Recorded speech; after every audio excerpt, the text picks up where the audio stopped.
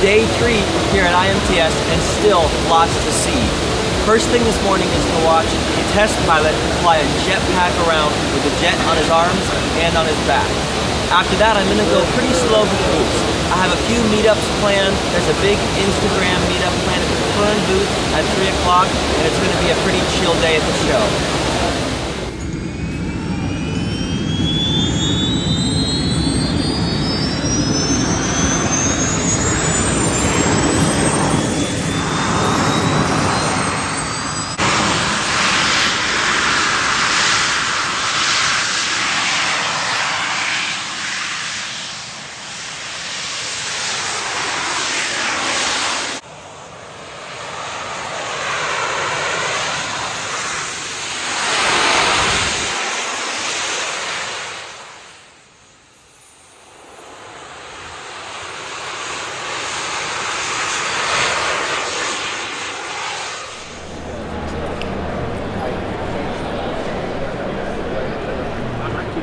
I'm here in the Meltio booth where the Phillips Additive Division has put a laser head on the Haas UMC.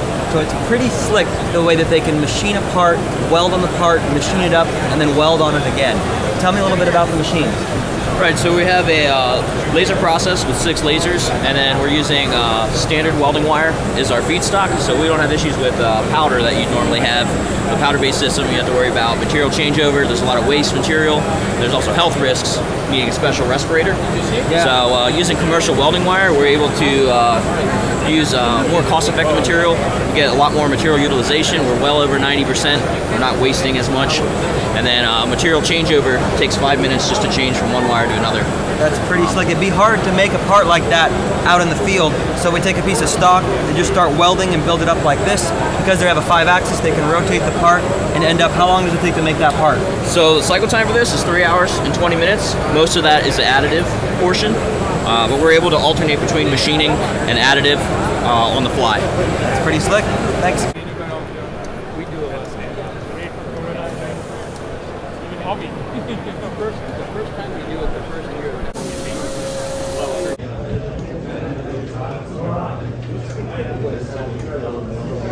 If you're looking for a place to eat, I'd recommend the West Food Court. The food is really good here and you can get a salad bar or a number of other things. In the pavilion around the West building was packed full of new manufacturers of 3D printers. Everybody who makes a 3D printer is here showing off the different materials that they're using and the different ways they're building parts. This is very impressive and the new technology.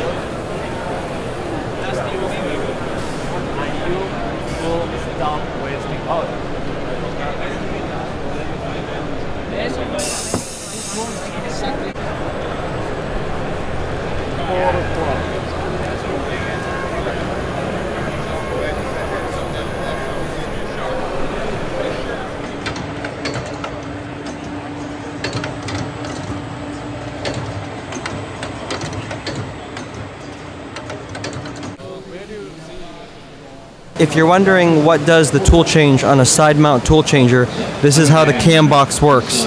And here they're showing a rebuilt one and an older one, but is that bad news showing that they need to be rebuilt? Hard to say. This machine probably has half a million tool changes. I had to chuckle when I saw this picture. Does it mean he's showing somebody how to do it? Or do you think he doesn't know how to do it and he's trying to get some help? Either way, it made me laugh. I'm all about training, so let's teach everybody what to do. This, this Matsuura right here was probably built in the, in the mid to late 70s, and I've worked on machines just like that. The controllers at Fanuc 20 control with stepper motors, which they no longer have made for 30 or 40 years. All right? That's great. Got this 50 taper Kitamura taking a pretty monstrous cut.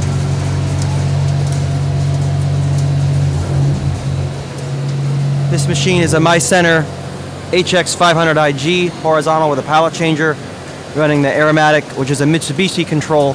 This is probably the best machine I have ever seen run a ball bar. The Mitsubishi control is really incredible. I'm here at Momentum Tools booth and they have a very large scale VTL. The coolest part about this machine is that the covers are off and you can see the spindle, the worm gear.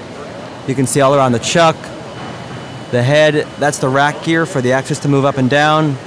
You've got the boxways exposed, the ball screw. This thing is running a FANUC control, and it even has an automatic tool changer.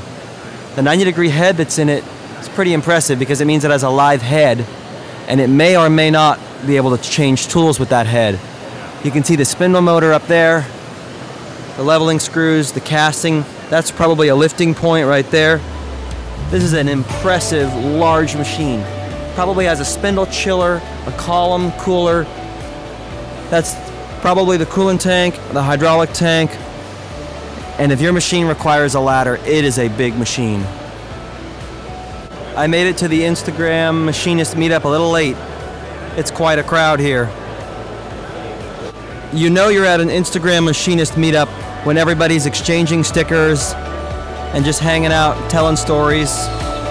Lots of fun here.